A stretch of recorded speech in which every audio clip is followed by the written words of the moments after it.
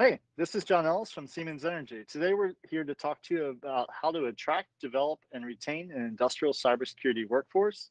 And we're excited to present for ICS Village at DEF CON 29.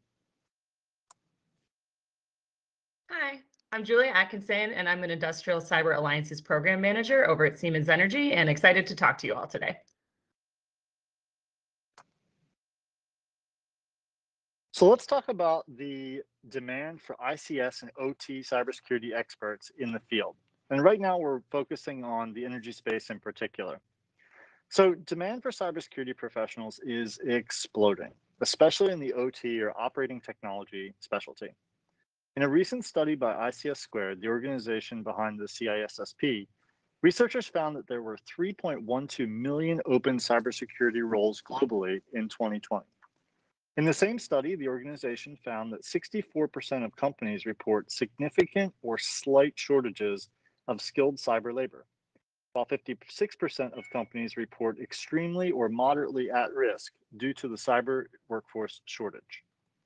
As it stands, about 90% of national ICS cybersecurity workforce needs went unmet in 2020, according to cyberseek.org.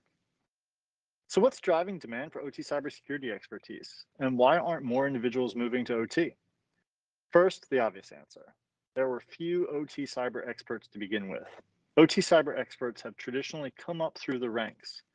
These individually, individuals typically have a mix of field experience and on the job training that has been difficult to replicate in academic settings.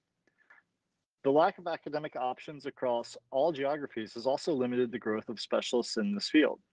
At our last count, there were only five colleges that provided classes, not degrees, but just classes, even in ICS security.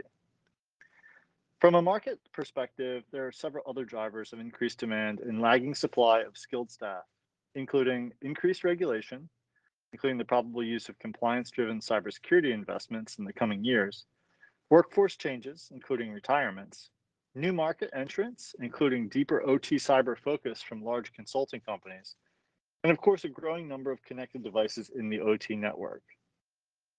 In the next slide, we will discuss the typical skills found in the successful OT cyber defenders and look at the ecosystem needed to support the development of the next generation of cyber defenders.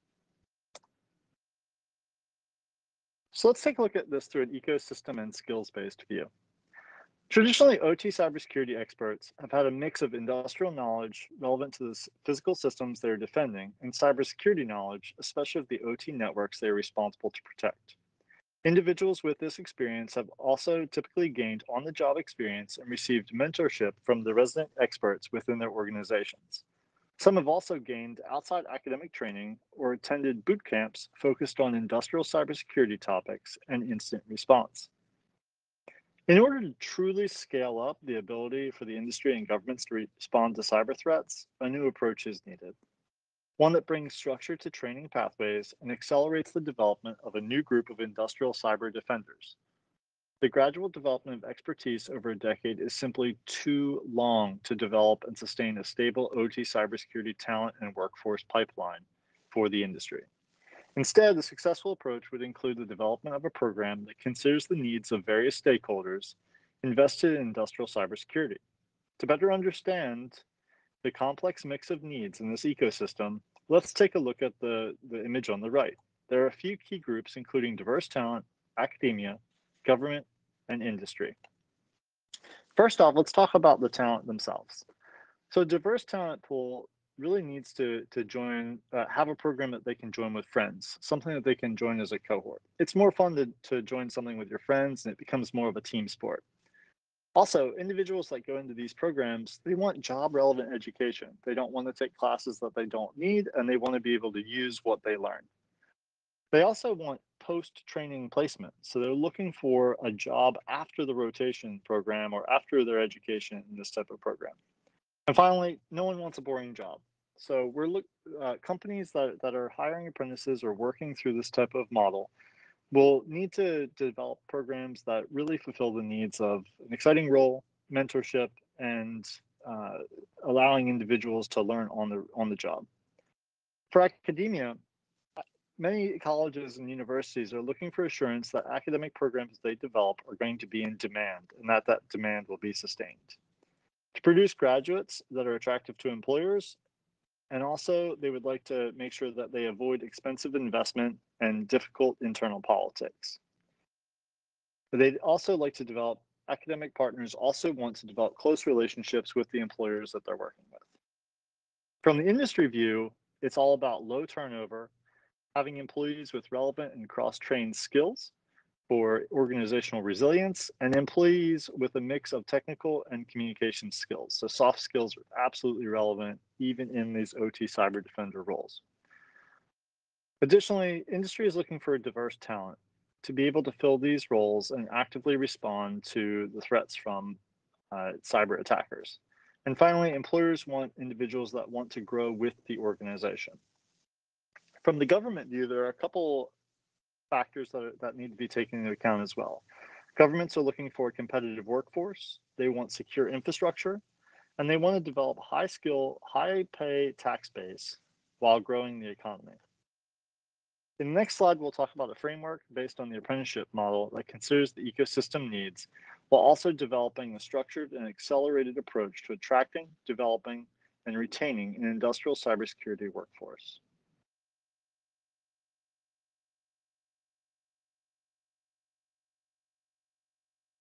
So putting together the needs of various ecosystem stakeholders, we feel that an apprenticeship model is one of the best ways to develop the industrial cybersecurity workforce of the future. A well-designed program provides opportunity for participants to learn in the classroom as well as from their employers, mentors, and community. When designing this framework, we first looked at the needs for in-class training. What we found is that the ideal program combines a mix of mechanical, electrical, and computer engineering with a heaping dose of cybersecurity topics. The specific makeup of the program should mirror or provide flexibility to align the learning outcomes to the specific types of systems that the participant is likely to encounter in their day job. Anyone that has undertaken a project like this in the past will know that designing an academic program like this is hard and challenges can arise from getting different departments such as engineering and computer science to talk to each other, among other issues. A basic understanding of ICS OT industrial cybersecurity can be delivered as part of a two-year academic program stretched over four years as part of the apprenticeship program. Education is paid for by the employer in this model.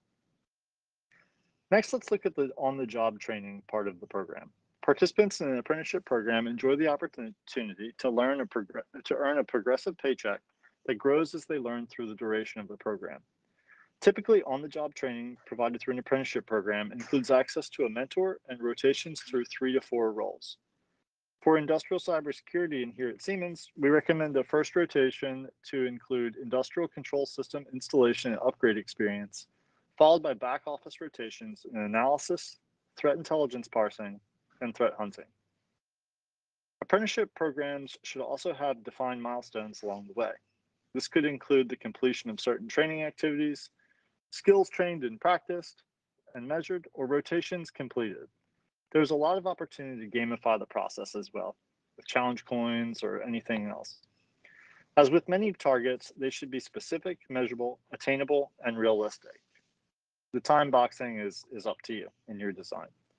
Finally, the apprenticeship program should focus on building up a community and culture. Apprentices are employees from the start and should be included in the team, part of team activities, and supported by the group in general while learning and beyond. Community and culture are also important to make sure that apprentices are learning a shared vocabulary, working from similar playbooks, and ultimately able to work as a team to respond to cyber threats. This includes getting familiarity with the organization's policies, procedures, and guidelines, and being well trained on these uh, ahead of the end of their rotational program. In the next section, we'll cover some of the benefits of apprenticeships and walk through some of the outcomes from similar programs in the past. So why should employers choose an apprenticeship model versus any other workforce development model? Well, research shows that for every dollar invested, no other workforce training method is as impactful as apprenticeship. Applying this model to cybersecurity allows companies to leverage a proven model with decades of success in professions like carpentry. Employers can build a new talent pool by tapping into diverse networks of early career professionals as well as career switchers. And once this talent pool is built, apprentices are also much more likely to stay with the company versus new hires off the street. Apprentices develop a deep understanding of the company through rotation and mentorship, and their retention rate is over 90% one year after graduation. Additionally, according to many case studies, apprentices also have higher productivity and capacity than new hires. Though creating an entire program from scratch could seem daunting for any company, a consortium apprenticeship model where multiple companies can band together to pool demand would allow for shared costs on things like program design, training equipment, as well as hiring outreach. Overall, the investment is well worth it. Without a stable pipeline of cyber experts to fill the rising number of open cyber positions, companies are not going to be able to grow and to meet rising demand. Speaking of funding, on the next slide, I'll get into some funding opportunities that are available to companies. Many states already have in incentives in place to help companies stand up apprenticeship programs. Things like tuition reimbursement may be available for a portion of tuition, as well as various state and federal tax incentives. Additionally, when it comes to justifying the investment internally, statistics show that the return on investment for every $1 spent on an, on an apprentice is nearly $1.46. This is more than any other workforce training program. The internal rate of return versus a direct hire is nearly 8% higher. The initial investment in education and on-the-job training pays off, as I mentioned previously, in retention. So even after three years, not just one, but three years after graduation, nearly 90% of apprentices are still with the hiring company. So what's next if you're looking to put together an apprenticeship program?